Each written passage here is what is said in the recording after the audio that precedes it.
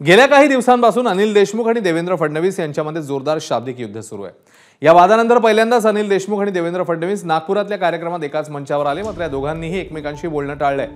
भाजप प्रदेशाध्यक्ष चंद्रशेखर बावनकुळे आणि विधान परिषद आमदार परिणय फुके यांचं मात्र अनिल देशमुखांशी अगदी जुजबी बोलणं झालं. संपूर्ण कार्यक्रमात देशमुख आणि फडणवीस यांच्यामधला अबोला पाहायला मिळाला.